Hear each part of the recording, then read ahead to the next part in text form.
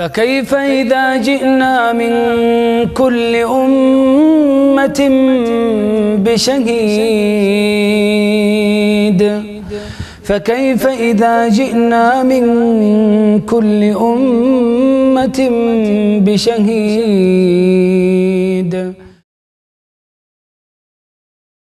يقول يا فضيلة الشيخ تعلمون أنه الآن قد انتشر استخدام الإنترنت بين الناس وخصوصا الشباب والشابات منهم. وقد أصبح الحديث بين الناس ممكن بين النساء والرجال وقد تكون الأحاديث في بدايتها تعارف وسواليف أو وسوالف كما عبر بذلك ولكن قد تنتهي إلى ما ما يحمد عقباه سؤالي إلى ما يحمد عقباه إلى ما لا يحمد عقباه فيقول سؤالي ما هي الضوابط التي تراها بالنسبة لهذا الأمر؟ آه الذي أرى أن يتجنب الإنسان اقتناء الإنترنت. نهائيا. لأن هذه الوسيلة فيها خير وفيها شر.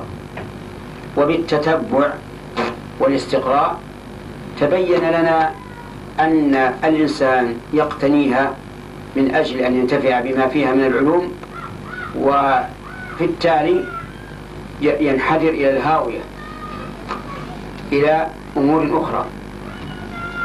كالفضائيات تماما.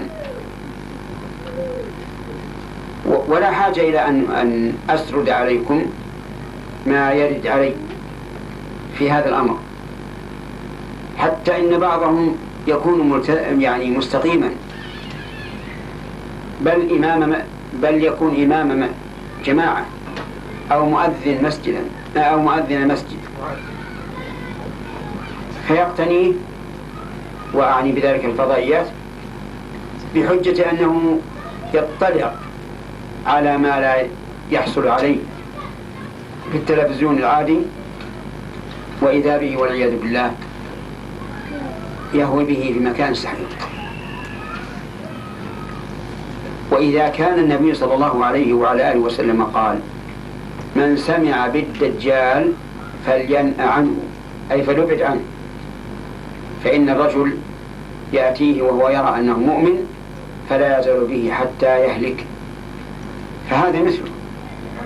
فالذي أرى أن يتجنب الإنسان هذه الوسيلة ما دام يخشى على نفسه الوقوع الوقوع في المحرم.